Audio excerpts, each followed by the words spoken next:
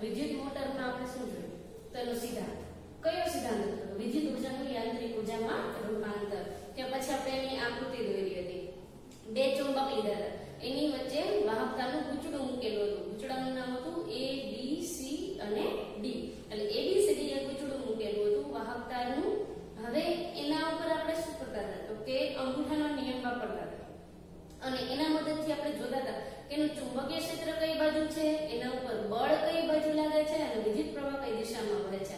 આ ત્રણ ક્વેશ્ચન ઉત્પન્ન થતા હતા અને ત્રણે ત્રણ વિશે આપણે વાત કરેલી હતી. તો આપણને ખબર છે કે એમાં સ્પ્લિટ રિંગ મૂકેલી હતી પી અને ક્યુ એ સ્પ્લિટ રિંગ હતી જો મિત્રો અર્ધ વર્તુળ ફરે તો એની સાથે સ્પ્લિટ રિંગની સાથે બે બ્રશ જોડાયેલા હતા એક્સ અને વાય એ આકૃતિ તમે ચારથી પાંચ વાર દોરેલી હશે તો તમને અત્યારે યાદ જ હશે છતાં પણ જો ન કર્યું હોય તો એકવાર રિપીટ કરાવવામાં આવે છે તો હજુ એકવાર ધ્યાન આપી દેવું હવે તો મિત્રો ફક્ત આકૃતિ જોઈને એટલે કે આકૃતિ દોરતા આવડી જશે તો એનું વર્ણન કરતા આવડી જશે એ ચાર કે પાંચ માર્કમાં ઘણી વાર ક્વેશ્ચન પૂછાઈ જાય છે તો મિત્રો સૌથી પહેલા એનો સિદ્ધાંત સિદ્ધાંત પછી એનું કાર્ય, રચના અને ગોઠવણી રચના એ ગોઠવણી અને આકૃતિ આકૃતિ ફરજિયાત છે.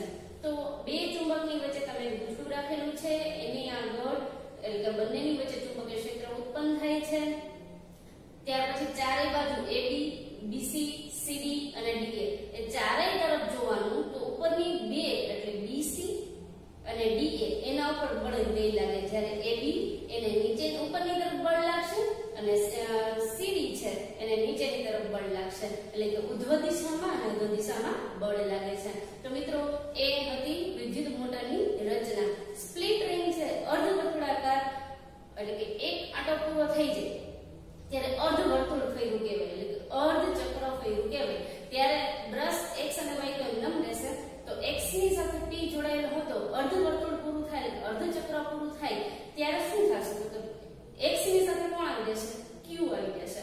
અને y બ્રશની સાથે કોણ જોડાઈ જશે? P જોડાઈ છે અને કન્ટિન્યુ એ જ પ્રોસેસ પાછી થશે. અને AB અને CD જે AB ને ઉપરની તરફ ઉર્ધ્વ દિશામાં બળ લાગતું હતું CD ને અધો દિશામાં બળ લાગતું હતું, એ ઉલટાઈ જશે. કેમ કે અર્ધ પૂરું થઈ જાય છે. અર્ધ વર્તુળ થાય છે.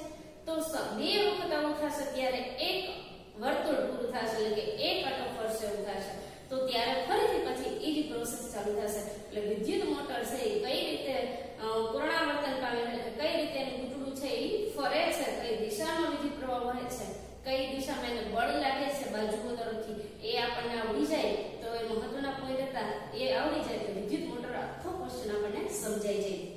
તો મિત્રો, હવે જોઈએ વિદ્યુત ચુંબકીય પ્રેરણ. તો વિદ્યુત ચુંબકીય પ્રેરણ, આપણને એમને ખબર પડી જાય, વિદ્યુત ઉત્પન્ન એટલે કે વિદ્યુત આપણે આપીએ, એને વિદ્યુત પ્રવાહ દાખલ કરીએ, તો ચુંબકીય ક્ષેત્ર, ચુંબકીય ક્ષેત્રને લઈને વિદ્યુત પ્રવાહ ઉત્પન્ન થાય. પણ પ્રેરણ એટલે તો કે કેવી રીતે બને કેવી રીતે પ્રેરિત થાય છે એ જોઈએ તો વિદ્યુત ચુંબકીય પ્રેરણ એટલે આપણને એમને ખબર પડી જાય મિત્રો કે બે ચુંબક લીધા હોય અને એની વચ્ચે વાહકતા મૂકવામાં આવે તો તે ગતિ કરે બે ચુંબકની વચ્ચે વાહકતા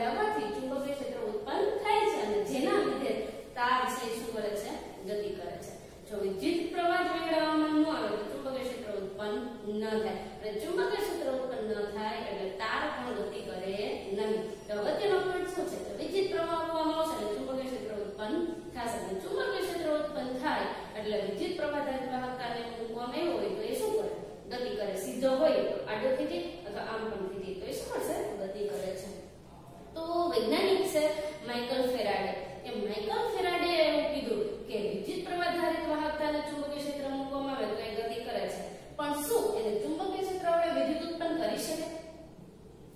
adetunda privatizada.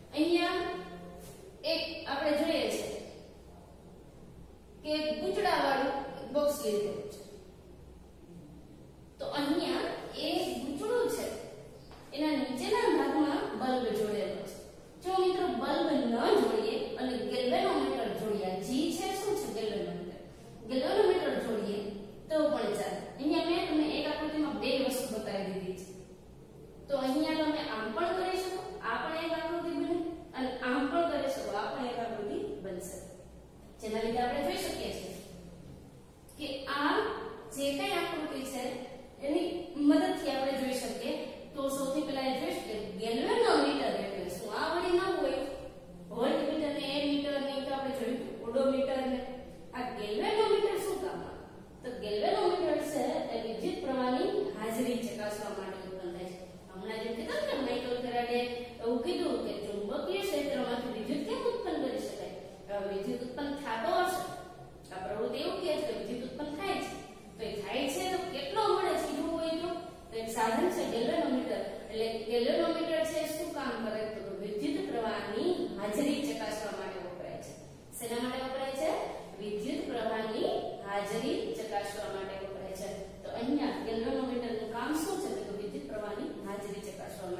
માટે હવે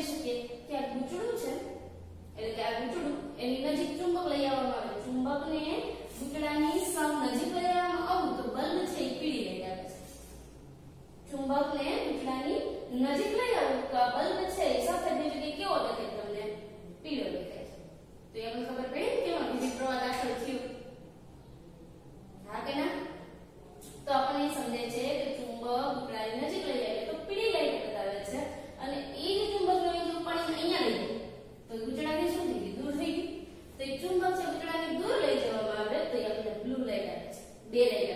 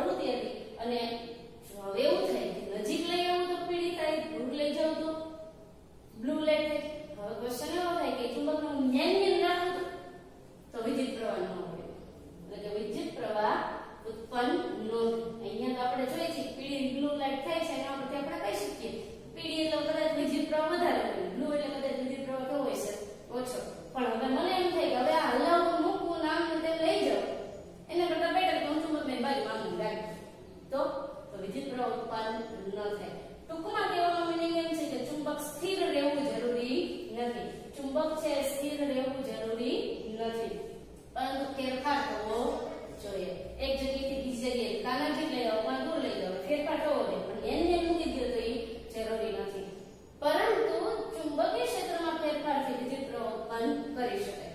અન્યને મૂકવામાં આવે તો બીજી પ્રવૃત્તિ થાય નહીં. મિત્રો, પ્રવૃત્તિ ઉપરથી આપણે એટલું જાણવા મળે છે કે જો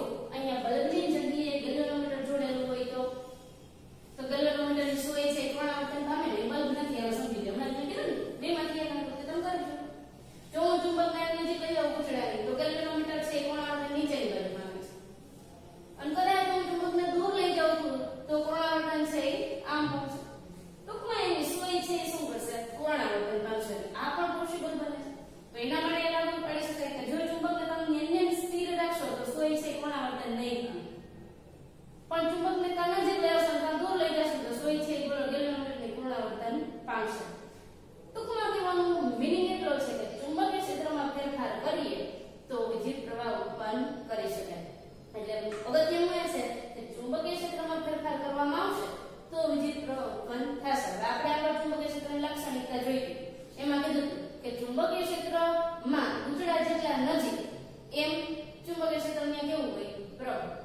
અને જેમ તમે દૂર લઈ જાઓ, એટલે કે આટાઓ છે એ મોટા આટા તો એ નેચું બગડશે તો કેવું હોય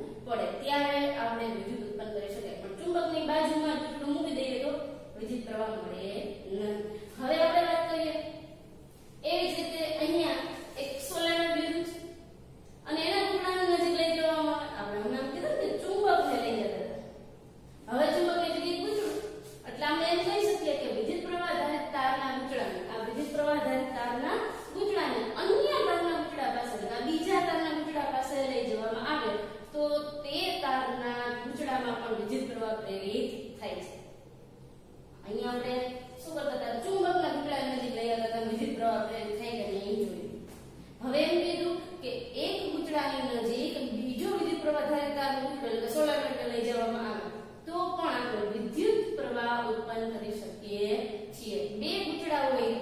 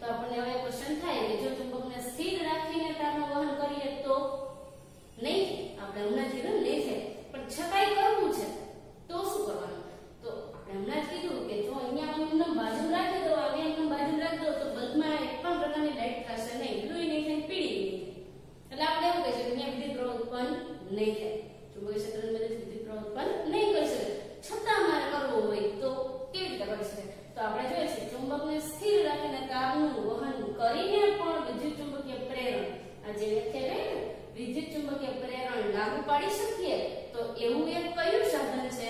કે વિદ્યુત જનરેટર, મોટર વિશે આપણે જોઈ ગયા, વિદ્યુત ચુંબકીય પ્રેરણ સિદ્ધાંત ભણી ગયા, અને ઈ પ્રેરણમાં પણ એવું કીધું, જો ચુંબક કે પૂંછડાને, બીજા કોઈ પૂંછડાની નજીક લઈ આવીએ તો પીળી લાઈટ થતી હતી દૂર લઈ જઈએ તો બ્લુ લાઈટ થતી પણ બાજુમાં બાજુમાં રાખી દઈએ તો કાંઈ આપણને મળતું નહોતું.